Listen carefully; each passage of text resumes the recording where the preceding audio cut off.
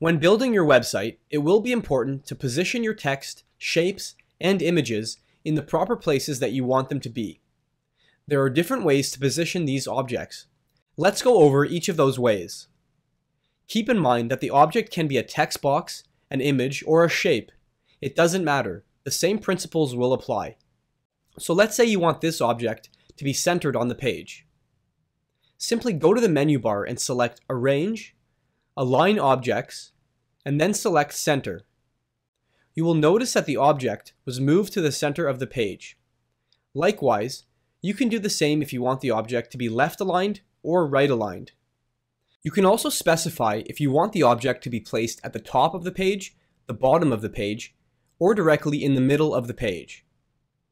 Let's say you want to place the object in a specific location according to x and y coordinates. Just click on the Metrics tab in the Inspector window, and then you can modify the x and y values under the Position heading. This will move the objects to the specified coordinates.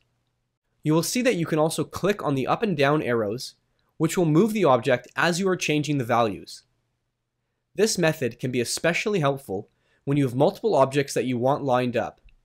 Simply match the y values for each object if you want them to be lined up horizontally, or the x values for each object if you want them to be lined up vertically. Let's say you have multiple objects beside one another and you want to space them evenly. Select all the objects either by using your mouse or by selecting each object while holding down the command key on your keyboard. Then go to Arrange, Distribute Objects, and select Horizontally. If the objects were placed vertically, you would do the same thing but select vertically.